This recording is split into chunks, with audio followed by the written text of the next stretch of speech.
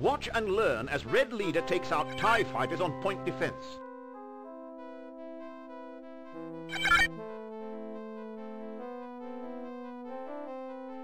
Stay close. You're responsible for his safety while he makes his attack.